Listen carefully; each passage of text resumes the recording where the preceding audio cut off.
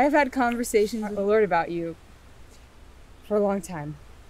Before we met, I would pray for you, beg Him to tell me who you were, and laugh with the Lord about all my weird idiosyncrasies you would have to deal with one day.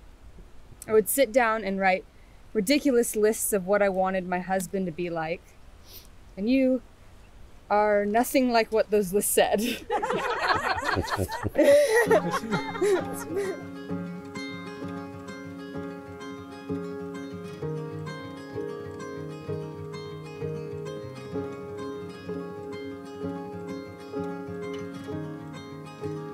as I was writing my list, the Lord was writing one of his own. He knew the type of person I would need to mold me to be more like Christ. That's what's on his list for me. That's the list that matters, and that's the list you exactly match. You're loud and fiery, you're stubborn and have road rage. You make me do hard things like parallel park the car by myself and open your hydro flask that you've tightened so much that diamonds are probably somehow forming from the pressure seal. Hard things like believe in myself. God knew I'd need a trustworthy challenger.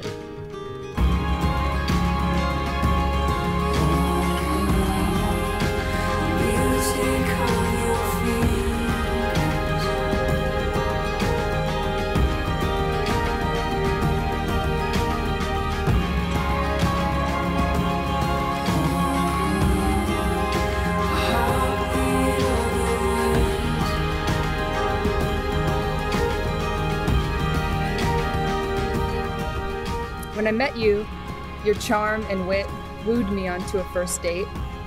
It was your gentleness, yes, gentleness, that led me to be your girlfriend. Your consistent loyalty and genuine genuineness made me your fiance. Led me to say yes today to being your life partner. I'm not a big fan of making big decisions. And after salvation, you're the biggest decision I've had to make who to spend the rest of my life with. I'm here today to declare that my old list was foolish, and um, I'm going with the Lord's list. I have made a downright exceptionally superior dynamite decision standing here today. And I love you.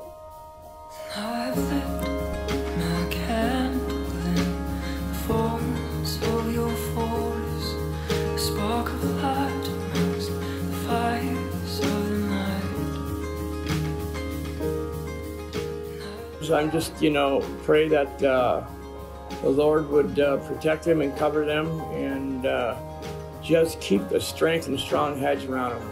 just being able to look at you all dressed up and so beautiful and to see how much you've grown and see how much you've changed throughout the years. God has done so many amazing things in our lives and you mean so much to me. And I'm so glad that you found somebody that I have no doubt will take care of you. We're holding you in prayer. It's not an easy thing, but it's a beautiful thing and it's worth fighting for. So we had this huge, big old rock in our backyard. So what she used to do when she was about two and a half years old, she'd take all her clothes off, scale the top of the rock, and sit there and then sit there and go, "Mama." She would. we could not keep clothes on until she was five. So we're glad that she's keeping her clothes on now. We're really happy to meet Ben, and um, I love them so much. We're so blessed. We're just looking forward to a wonderful life with the both of them. They're beautiful. Cece, I just want to say thank you for loving my boy. This prayer request to the God Almighty of the universe has been constantly been on my mind, and you made that prayer come true. So thank you for loving my boy. Congratulations and welcome to the family. We love you, beautiful Benny and Cece.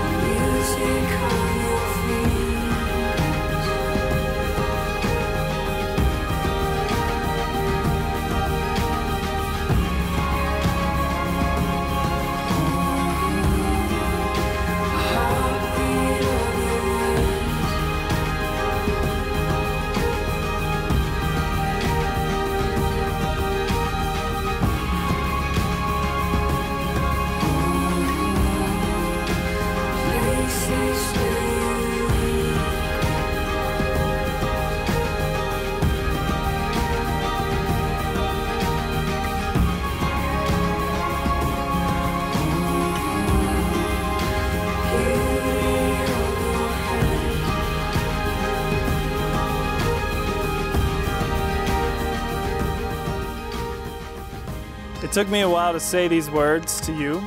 I wanted to be sure. I've always been standoffish about expressing emotions. The more personal, the more cynical and closed off I can get. So when I wanted to say them, I held off, was worried. But when I did say those words, I knew, I knew I was committed. Those three heavy single syllable words carried the weight of a life commitment. I love you are the words that bear the weight of my promises, of my vows. To hold you after a long, hard day, and to cheer you up with my stellar jokes. To be always willing for spontaneous dance parties, to listen first, to trust you completely, to not complain about how long it takes you to exit the car, to love you like Christ loved the church, to pray with you daily, to surprise you because I'm unpredictable. To give you my life, to give my life for yours, to stargaze, and through words, gifts, and the dishes, I always try to communicate my love in every way that I can. I'm rarely sure about anything, but I'm sure about you. You are a blessing.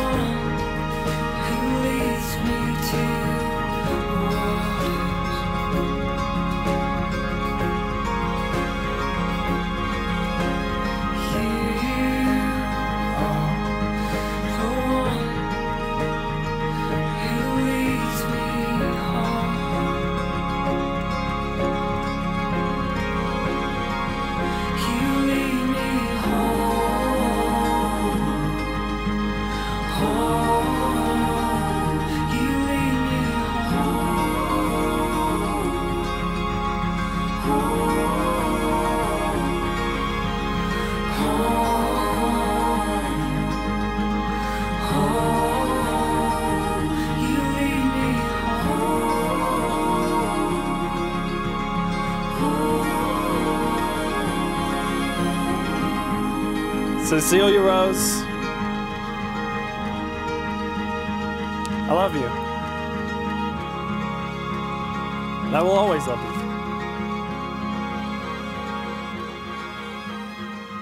Always.